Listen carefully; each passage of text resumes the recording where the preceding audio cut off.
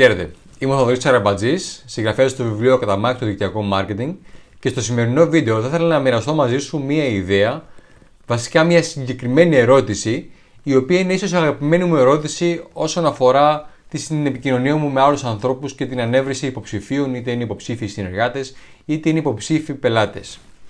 Πολύ συχνά, μέσα σε συζητήσεις που κάνουμε στην καθημερινότητά μας, κάποιοι άνθρωποι έχουν κάποια θέματα για τα οποία γκρινιάζουν, παραπονιούνται, δεν τους αρέσουν, είναι δυσαρεστημένοι.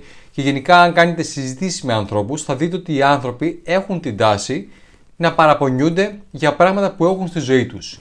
Είτε είναι η δουλειά τους, είτε είναι ο μισθός τους, τα χρήματα γενικότερα που έχουν σαν εισόδημα στο σπίτι, είτε είναι οι συνθήκες της δουλειάς τους και το αφεντικό τους, είτε είναι η κατάσταση της αγοράς, ή αν δεν έχουν αφεντικό και έχουν υπαλλήλους, είναι οι υπάλληλοι τους, είναι, ξέρω εγώ, άλλοι μπορεί να έχουν θέματα με διατροφή, με έλεγχο βάρους, θέλουν να χάσουν κιλά, δεν έχουν ενέργεια, άλλοι έχουν πολλά έξοδα στην καθημερινότητά τους. Γενικά οι άνθρωποι έχουν κάποια θέματα για τα οποία γκρινιάζουν, παραπονιούνται ή ε, δυσανασχετούν. Λοιπόν, πολλές φορές αυτό που βλέπω είναι ότι οι δικτυωτές, όταν μιλάνε μαζί τους, οι επαγγελματίες, όταν μιλάνε μαζί τους και ακούν από αυτούς τους ανθρώπους κάποια παράπονα, κάποια δυσφορία, οτιδήποτε, βιάζονται να δώσουν μία λύση. Κάποιος λέει, ξέρω εγώ, ότι πώς θα γίνει να χάσω κάποια κιλά. Αν όλο εμπορεύεται προϊόντα που βοηθούν τους ανθρώπους να χάσουν κιλά, λένε, Ω, μην με ανησυχείς, θα σε βοηθήσω εγώ. Έχω κάτι φανταστικά προϊόντα ή έχω αυτό το πρόγραμμα που θα σε βοηθήσει ή έχουμε ένα πάρα πολύ καλό καινούργιο προϊόν στην εταιρεία μας ή κάτι τέτοιο. Αυτό αυτομάτως όμως, σε πάρα πολλές περιπτώσεις, αρχίζει και δημιουργεί αντιστάσεις στον υποψήφιο. Γιατί; Γιατί ο υποψήφιος εκεί που μιλούσε πολύ απλά για ένα θέμα το οποίο έχει, το οποίο συνηθίζει να κάνει στην καθημερινότητά του, γενικά οι άνθρωποι συνηθίζουν να μιλάνε για αρνητικά πράγματα, να μιλάνε για τα προβλήματα που έχουν, ξαφνικά βρέθηκε σε μια παρουσίαση πώληση. Κάποιος προσπαθεί να του πουλήσει κάτι. Κάποιος προσπαθεί να τον, να τον πείσει για κάτι. Και αυτό αυτομάτως δημιουργεί αντιστάσεις και άμυνες στους ανθρώπους.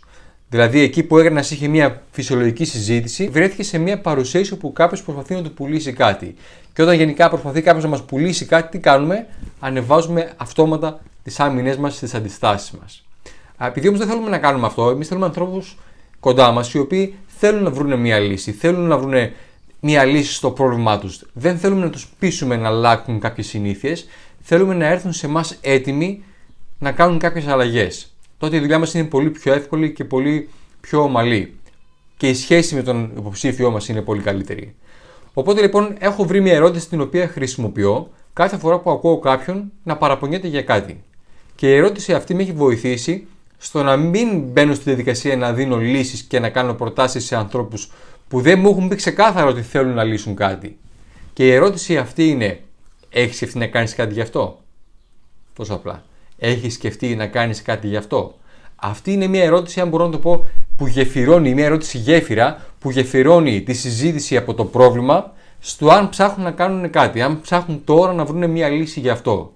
Γιατί θα δείτε ότι όταν θα κάνετε αυτή την ερώτηση, κάποιοι από τους ανθρώπους που συνομιλείτε θα, θα αρχίσουν να σας δίνουν διάφορες δικαιολογίες. Του τύπου ότι και τι να κάνω, και έτσι είναι το σκαρί μου, ή έτσι είναι η οικονομία, δύσκολη αγορά, πού να μπορώ να κάνω κάτι δικό μου, ή δεν υπάρχουν λύσεις σήμερα. Οπότε όταν αρχίζει και βρίσκει δικαιολογίες για το ότι δεν έχει βρει μια λύση αυτή τη στιγμή, δεν έχει αρχίσει να ψάχνει μια λύση για να λύσει το πρόβλημά του, σημαίνει ότι κατά πάσα πιθανότητα όταν θα του προτείνετε τη δική σας λύση δεν θα είναι ανοιχτός. Δεν ψάχνει αυτή τη στιγμή να λύσει το πρόβλημά του. Δεν σημαίνει ότι κάποια στιγμή στο μέλλον δεν θα αλλάξει κάτι, αλλά για ποιο λόγο εγώ να μπω στη διαδικασία να διακινδυνεύσω, να χαλάσω τη σχέση μου με αυτόν τον άνθρωπο, να χαλάσω έναν ενδεχόμενο μελλοντικό πελάτη ή συνεργάτη, δίνοντάς του μία λύση τώρα που ξεκάθαρα μου λέει, αν ακούω καλά, ότι δεν την ψάχνει. Άρα λοιπόν κάνω αυτή την ερώτηση και ακούω την απάντησή του. Αν μου πει ναι, ψάχνω να βρω έναν τρόπο, έχω δοκιμάσει πολλά πράγματα κτλ., εκεί μου δείχνει ότι είναι ανοιχτός. Άρα λοιπόν αυτή η ερώτηση, έχεις σκεφτεί να κάνεις κάτι γι' αυτό, ή τι έχεις σκεφτεί να κάνεις γι' αυτό, ή τι σκοπεύεις να κάνεις γι' αυτό; Ωραία. Σας λέει άλλος, θέλω να χάσω κάποια κιλά πριν το γάμο μου που είναι το Σεπτέμβριο. OK. Okay. Και τι κάνεις γι' αυτό, τι έχεις σκοπό να κάνεις γι' αυτό, ή έχεις σκεφτεί να κάνεις, πώς έχεις σκεφτεί να το λύσεις αυτό το πρόβλημα; Καταλάβατε; Οπότε λοιπόν αυτή η ερώτηση βοηθάει στο να μπορέσουμε να γεφυρώσουμε το πρόβλημα που ακούμε σε μια συζήτηση, στο να δούμε αν υπάρχει μια ανάγκη άμεση για λύση ή αν απλά χρησιμοποιεί αυτό το οποίο ανέφερε ο υποψήφιός μας, ο συνομιλητής μας, σαν ένα θέμα συζήτησης που έχει συνηθίσει να χρησιμοποιεί για να μιλήσει με κάποιον και ότι δεν ψάχνει όντως να βρει μια λύση τώρα. Αυτό. Ελπίζω να βρήκατε χρήσιμη τη σημερινή ε, ιδέα ε, και χρήσιμη αυτή την ερώτηση. Χρησιμοποιήστε την ερώτηση αυτή, αυτή την φράση που γεφυρώνει τη συζήτηση από έναν που απλά μιλάει μαζί μας με το να δούμε αν ψάχνει όντως μια λύση για να του προτείνουμε τη λύση τη δική μας ή οποιαδήποτε άλλη λύση. Και ε, χρησιμοποιήστε την και γράψτε μου στα σχόλια μετά κάτω τι αποτέλεσμα είχε αυτό για σας. Εσείς ποια φράση ή ποια ερώτηση ενδεχομένως χρησιμοποιείτε για να δείτε αν ο συνομιλητής σας είναι ανοιχτός στο να λύσει ένα πρόβλημα το οποίο μόλις σας ανέφερε. Αφήστε το σαν σχόλιο από κάτω αν θέλετε στο βίντεο και θα χαρώ να συνδεθούμε είτε στο, το βλέπετε στο YouTube είτε στο blog μου networkpavlamarketing.gr είτε στο προφίλ μου στο Facebook είτε στο Instagram. Έχω πολλά διαφορετικά.